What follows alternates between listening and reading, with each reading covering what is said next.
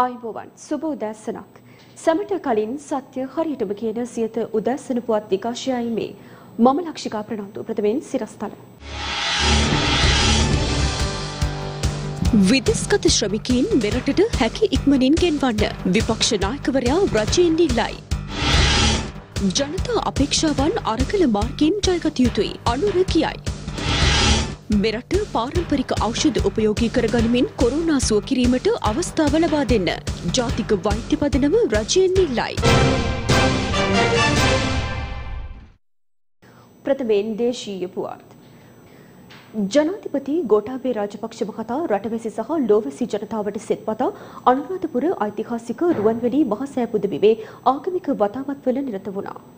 ජනාධිපති ගෝඨාභය රාජපක්ෂ මහතා රටවැසි සහ ලෝවැසි ජනතාවට සෙත්පතා අනුරාධපුර ඓතිහාසික රුවන්වැලි මහසෑ පුදබිමේ ආගමික වතාවත්වල නිරත වුණා. රුවන්වැලි මහසෑ පුදබිමට පැමිණි ජනාධිපතිවරයා රුවන්වැලි රජමහා විහාරාධිපති පූජ්‍ය පල්ලේගම හේමරත්න නාහිමියන් බැහැ දැක උන්වහන්සේගේ ආශිර්වාද ලබා ගත්තා.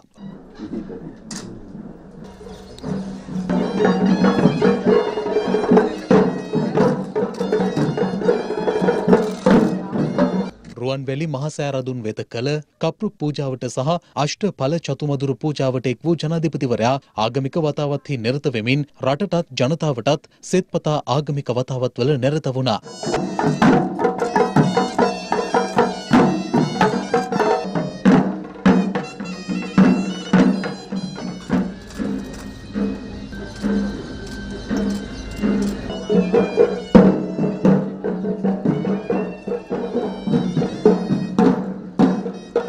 එහිදී සෑරදුන් අභියස විශේෂ සෙත් පිරිත් සජ්ජායනයක්ද සිදු කරනු අතර සෑරදුන් උදෙසා ආලෝක පූජාවක් පැවැත්වීමද ජනාධිපතිවරයාගේ ප්‍රධානත්වයෙන් සිදු වුණා.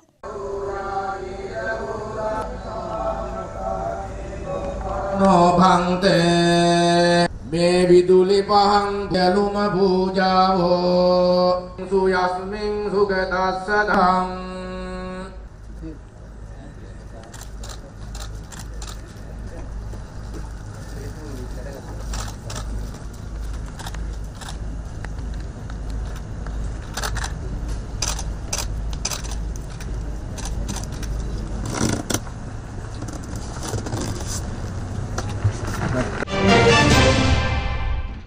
විදිස්ගත ශ්‍රමිකයින් විශාල පිරිසක් මේ වන විට මෙරටට පැමිණීමට නොහැකිව සිටින බවත් ඔවුන් සියලු දෙනා කඩිනමින් මෙරටට ගෙන්වීමට රජය කටයුතු කළ යුතු බවත් විපක්ෂ නායක සජිත් ප්‍රේමදාස මහතා පවසනවා.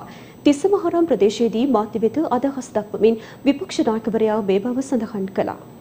තිස්සමහරාම ඔසුවින්න ආසනගල ශ්‍රී අභිනවාරාම විහාරස්ථානයට පැමිණි විපක්ෂනායකවරයා එහි විහාරාධිපති පූජ්‍යපාද දොළොස්බාගේ සුපන්නක තිස්ස නාහිමිපාණන් වහන්සේ බැහැදැක උන්වහන්සේගේ ආශිර්වාද ලබා ගත්තා. අනතුරුව මාධ්‍ය වෙත අදහස් දැක් වූ විපක්ෂනායකවරයා. මේ මොහොත වන විට විශේෂෙන්ම අපේ රටේ පිටරටවල් වල සේවය කරන රැකියා කරන වෘත්තීය කටයුතු වල නිරත වෙන ජනතාව අන්ත අසරණ භාවයට පත් වෙලා සිටිනවා. විශේෂයෙන්ම රජයෙන් ඉල්ලීමක් කර කරනවා අනාථ වී සිටින අසරණ වී සිටින අපේම රටේ පුරවැසියන් ශ්‍රමික ජනතාව අපේ රටට වහාම ගෙන්වීම සඳහා වැඩපිළිවෙලක් සකස් කරලා නිසි නිරෝධායනයට ඒ සෑම සියලු දෙනාම ලක් කරලා ඒ වගේම ඒ අයට අපේ රටට පැමිණෙන්නට අවස්ථාව සලසන්නේ කියලා රජයෙන් ඉල්ලීමක් කරනවා. මේ රට විරුවන් ජනාධිපතිවරණයේදී දහස් ගණනින් අපේ රටට ඇවිල්ලා මේ වර්තමාන රජය ජයග්‍රහණය කරවන්නට විශාල කැපකිරීමක් කරා. නමුත් පොහොට්ටු ආණ්ඩුව බිහි කරන්නට දායකත්වය ලබා දුන්නු ඒ රට විරුවන් දරුවන්ව වර්තමාන රජයට අමතක වෙලා හමාරයි. ඒ තානාපති කාර්යාලවලින් හරියාකාර සහයෝගයක් රටවිරු ජනතාවට සිද්ධ වෙන්නේ නැහැ. බොහෝ රටවිරුවන් මට කියන කාරණාව තමයි තමන්ගේ දුක් ගැනවිලිත් සමග ඒ තානාපති කාර්යාලවලට දුරකථන ඇමතුම් ගත්තාම ඒ දුරකථන ඇමතුම් බොහෝ අවස්ථාවන් වලදී විසන්ධි කරන. කිසිම සවන් දීමක් නැහැ. දුක ඉදිරිපත් කරන්නට අවස්ථාවක් නැහැ. මෙන්න මේ වගේ තත්ත්වයක් තුළ තානාපති කාර්යාලවල සේවය කරන ඒ සියලුම දෙනාගේ ප්‍රමුඛතම වගකීම ශ්‍රී ලාංකීය පුරවැසියන් රැක බලා ගැනීම, ආරක්ෂා කිරීම, ඒ අයට ශක්තියක් වීමේ කියන එක මම මේ අවස්ථාවේ යෝජනා කරනවා. සිය පක්ෂයේ පුරෝගාමීන් සටන් වැදුණු අරමුණු අද වන විටත් සාක්ෂාත් කර ගැනීමට අසමත්ව ඇති අතර ඒ වෙනුවෙන් විශාල ජන අරගලයකට ප්‍රවිෂ්ඨ විය යුතු බව ජනතා විමුක්ති පෙරමුණේ නායක පාර්ලිමේන්තු මන්ත්‍රී අනුර කුමාර දිසානායක මහතා පවසනවා. 31 වන ඉල්මහා විරු සැමරුමට එක් වෙමින් ඒ මහතා මේ බව ප්‍රකාශ කළා.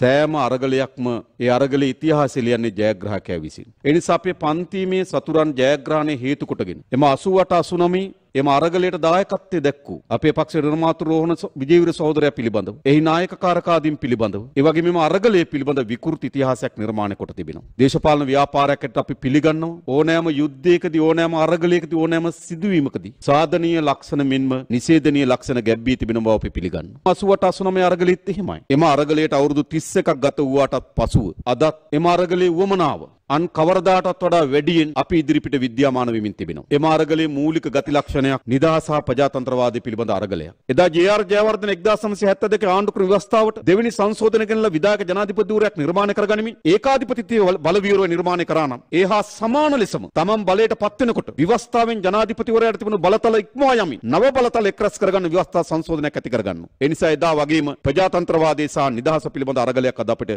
ඉතුරු වී තිබෙනවා. තාමත් කටක් කරලා මේ පාලකයන්ට කියන්න බැරි වී තිබෙනවා. තෝෆා ගිවිසුම අත්සන් කරනවද නැද්ද?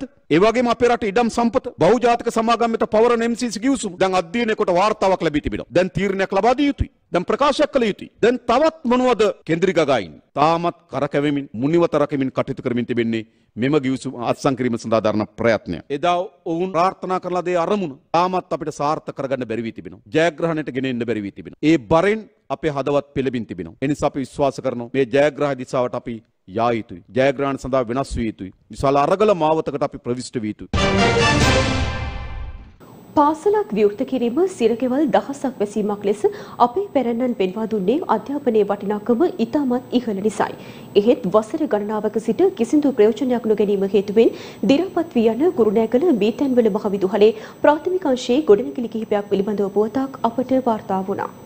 කුරුණෑගල අධ්‍යාපන කලාපයේ මෙතැන්වල මහවිදුහලේ ප්‍රාථමික අංශය දැනට වසර පහක සිට වැසී ගොස් තිබීම හේතුවෙන් අද වන විට එම පාසලේ ප්‍රාථමික අංශයේ ගොඩනැගිලි කිසිදු ප්‍රයෝජනයකට නොගෙන වල් බිහි වී ඇති අයුරුයි මේ.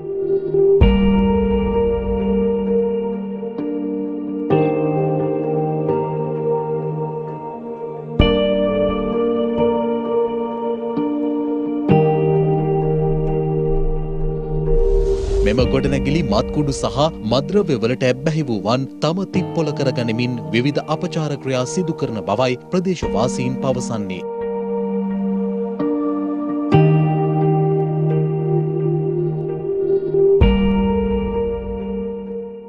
බීලා ඉවරලා එක එක බෝතල් එහෙමත් දාලා යනවා පාසලේ තියෙන දේවල් ඉතින් සේරම විනාශ වෙලා ගිහින් තියෙනවා දැනට අපි ඉගෙන ගත්ත ඉස්කෝලේ තමයි මේ මීතන් වල ප්‍රාථමික අංශයේ මේ පේන්න දෙන්නේ. කවුරු හරි නිලධාරි මහත්තයෙක් ඉන්නවා නම් මේකට මොකක් හරි අපිට වැඩපිළිවෙලක් හදලා දෙන්න පුළුවන් නම් අපිට මේකට කවුරු හරි දායකත්වයක් දීලා ක්‍රීඩාව ගොඩනගා ගන්න අපිට ලබා දෙන්න කියලා තමයි අපි ඉල්ලා සිටින්නේ. උදාහරණයක් වශයෙන් කිව්වොත් අපේ ග්‍රාම සේවක මහත්වරු සෞඛ්‍ය නිලධාරි කාර්යාලය මොකක් හරි ඒ වගේ වැදගත් දෙයකට මේ ගොඩනැගිලි ප්‍රසංස්කරණය කරලා යොදා ගන්න පුළුවන්. ඒ වගේම අපිට මෙතන ක්‍රීඩාංගණයක් තියෙනවා. ඒ ක්‍රීඩාංගණය අපිට ක්‍රීඩා කරන්න හදා ගන්න පුළුවන්. ඒ වගේ ඇත්ත වශයෙන්ම කිව්වොත් වැදගත් දෙයකට මේ ගොඩනැගිල්ල මේ භූමිය යොදා ගන්න පුළුවන්. මෙම අපරාධේ කැලෑවැදමින් තියෙන මේ භූමිය අපිට වැදගත් දෙයකට පාවිච්චි කරන්න පුළුවන්. විශ්වවිද්‍යාල සිසුන් පවා මෙම මිතැන්වෙල මහවිදුහලෙන් බිහි වී ඇති අතර අක්කර තුනක වපසරයක පිහිට ඇති මෙම ප්‍රාථමිකංශයේ ගොඩනැගිලි මෙලෙස වල් බිහිවීමට ඉඩ නොදී තරුණ සේවා පියසක් ලෙස හෝ සකස් කර දෙන ලෙසයි ගම්වාසීන් ඉල්ලා සිටින්නේ.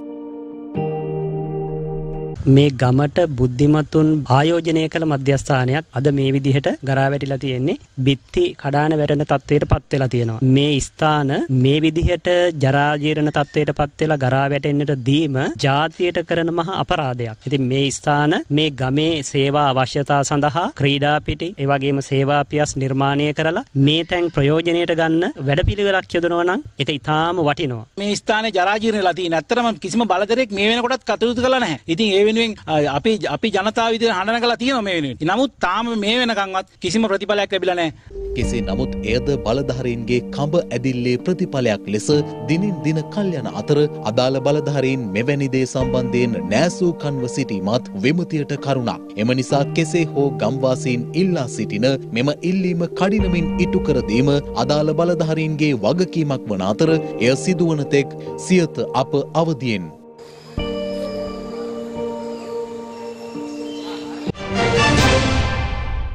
පසුගිය ආණ්ඩුව තිබියදී විපක්ෂ නායක සජිත් ප්‍රේමදාස මහතා ආරම්භ කළ බොහෝ ව්‍යාපෘති අද වන විට නතර කර ඇති බව පාර්ලිමේන්තු මන්ත්‍රී හර්ෂණ රාජකරුණා මහතා පවසනවා. ඒ කොළඹ පැවති මාධ්‍ය හමුවකදී. අපි දකිනවා අග්‍රාමාත්‍ය මහින්ද රාජපක්ෂ මැතිතුමාව අපහසුතාවයට පත් කරන්න යම් හස්තයක් ක්‍රියාත්මක වෙනවා කියන එක ඉතා පැහැදිලි. එකක් මේ පින්තූරේ ඉතා පැහැදිලිවම තියෙනවා අග්‍රාමාත්‍ය මහින්ද රාජපක්ෂ මැතිතුමා සොළොස්ම ස්ථානවලට අයත් දීඝවාපි පුදබීමෙහි චෛත්‍ය රාජානන් වහන්සේ ප්‍රතිසංස්කරණය කිරීමේ ඒ කටයුත්තක් සිදු කර. අපි මතක් කරලා දෙන්න ඕනේ මේ ආණ්ඩුවට මේ ආණ්ඩුවේ අගමැතිතුමාව මෙහෙම අපහසුතාවයට පත් කරන්න එපා. ඒ මොකද අග්‍රාමාත්‍ය මහින්ද රාජපක්ෂ මැතිතුමා මේ මුල්ගල තියන්නේ අපේ ආණ්ඩුවේ සජිත් ප්‍රේමදාස මැතිතුමා මුල්ගල මුල්ගල තියලා ඒ සංවර්ධන වැඩ කටයුතු ආරම්භ කරපු මේ මුල්ගල තැබීමේ උත්සවේ. දැන් අන්න ඒ කටයුත්තම දැන් මහින්ද රාජපක්ෂ මැතිතුමා ආපහු මුල්ගල් තියලා ලොකු උත්සවයක් හැටියට පත් කරලා තියෙනවා. සජිත් ප්‍රේමදාස මැතිතුමා ආරම්භ කරපු මේ වගේ ඉතා වැදගත් ව්‍යාපෘති ගණනාවක් දැන් නතර වෙලා අපි ඉල්ලීමක් කරනවා මේ රජයෙන් කරුණා කරලා අපේ සංස්කෘතික ආගමික මධ්‍යස්ථානවල ව්‍යාපෘති නතර කරන්න එපා. මෙරට පාරම්පරික ඖෂධ උපයෝගී කරගනිමින් කොරෝනා රෝගීන් සුව කිරීමට අවස්ථාව ලබා දෙන ලෙස ජාතික වෛද්‍ය පදනමේ වෛද්‍ය බී.ඒ. රත්නපාල මහතා රජයෙන් ඉල්ලීමක් කර සිටිනවා. ඒ කොළඹ පැවති මාධ්‍ය හමුවකදී.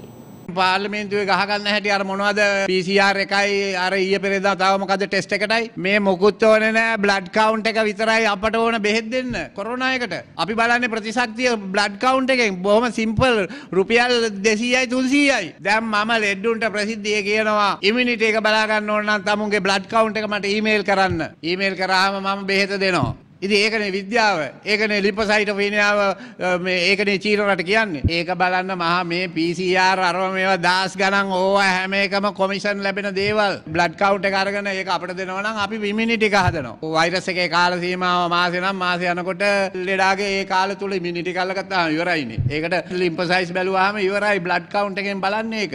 ඉතින් ඒක බලනවා දැන් පැහැදිලිව කොරෝනා වෛරස් එක ඇටැක් කරගෙන එන කෙනෙකුගේ අර ලිම්ෆසයිස් ලෙවල් එක වැඩි. ඒ ලිම්ෆසයිස් ලෙවල් එක මුලදී වැඩි වෙනවා. ඇයි තමුන්ගේ තියෙන ස්වාභාවික ප්‍රතිශක්තිය ෆයිට් කරනවා මේ විස බීජයකත් එක්ක. එතකොට අර තමුන්ගේ හමුදාව ගාන ලිම්ෆසයිස් වැඩි කරගෙන ෆයිට් කරනවා. ලෙඩා ෆේල් වුණොත් ලිම්ෆසයිස් අඩු වුණොත් 15න් පල්ලෙහා ඒක තමයි මරණය. බලන්න මං අභියෝග කරනවා ඔය මැරිච්ච ලෙඩ්ඩුගේ මුකුත් ඕන නැහැ බ්ලඩ් කවුන්ට් එක ඒ වෙලාවට බලලා තියෙනවා නම් බලන්න ලිම්ෆසයිස් 15න් පල්ලෙහා තියෙනවා මැරිච්ච මිනිසුන්ගේ. 15න් පල්ලෙහා ගියොත් ප්‍රතිශක්තිය එක්ක heart attack එනවා එක්ක CVA damage වෙනවා එක්ක renal impairment වෙනවා වකුගඩුවේ. මේක විද්‍යාත්මක කරුණක් කාටවත් ලෝකේ කිසිම කෙනෙක් immunity එක හදලා පෙන්නලා නැහැ. ඒක මමයි කරලා තියෙන්නේ. දියවැඩියාව සනිප කරන්නේත් එහෙමයි. විපක්ෂය විසින් ඉතිහාසය පුරා රණවිරුවන්ට අපහාස කරමින් කටයුතු කරන අතර වර්තමානයේදීත් සමාජ මාධ්‍ය ජාල ඔස්සේද එම ක්‍රියාවලිය සිදු කරමින් පවතින බව අමාත්‍ය ජොන්ස්ටන් ප්‍රනාන්දු මහතා පවසනවා. මූණ පොතේ දාලා තියෙන දේවල් දිහා බලපුවාම සම්පූර්ණ බොරුවක් තියෙන්නේ. මේ තියෙන තාම මේ පාර හදලා ඉවර නැහැ. මේකේ කාණු පද්ධතිය හදලා ඉවර නැහැ. එළියේ පාරවල් සම්පූර්ණයෙන්ම හදලා ඉවරයි. දැන් මේකේ කොන්ක්‍රීට් කරගෙන යන්නේ. ඒතර මේ පාර හදන්නේ යුද හමුදාවට අපි වාර දුන්න අතිකරු ජනාධිපතිතුමාගේ ඉල්ලීමකට රණවිරුව කරන පළවෙනි පාර මේ මාර්ග කිලෝමීටර් ලක්ෂේ අපි ඇත්තවරම කනගාටු වෙන පුදුමයටපත් වෙන්නේ නැහැ. හැමදාම විපක්ෂය කෙරුවේ රණවිරුවන්ට පහර දෙන එක. රණවිරුවන්ට අපහාස කරන එක. රණවිරුව හිරේ දාපු එක. යුද්ධ ජයග්‍රහණයට අපහාස කරපු එක. මේවා තමයි අපි ඉතිහාසයේ දැක්කේ. මේක අලුත් දෙයක් නෙමෙයි. මේ ප්‍රදේශයට මහා දැවැන්ත සංවර්ධනයක් මේකේ ඉන්නේ. මේකට පහර දුන්න පටන් ගත්ත ගමන්. මේකට කිව්වා සිංහරාජය කපනවා. පරිසරය විනාශ කරනවා. ඒ නිසා අපි හෙලා දකිනවා මේ වගේ පහර දෙන්න එපා. උදැසන පුවත් විකාශය අවසන් යළිත් හමුවෙමු මධ්‍යන පුවත් විකාශයත් සමගින් ඔබට සුබ දවසක්.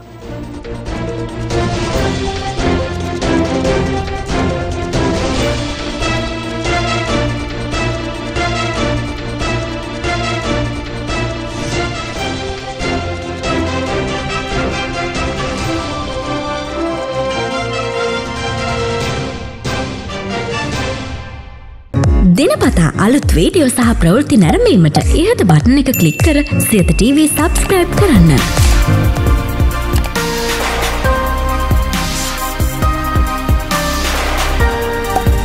අලුත් වීඩියෝ ගැන මුලින්ම දැනගන්න මෙම සීනුව කලික් කරන්න.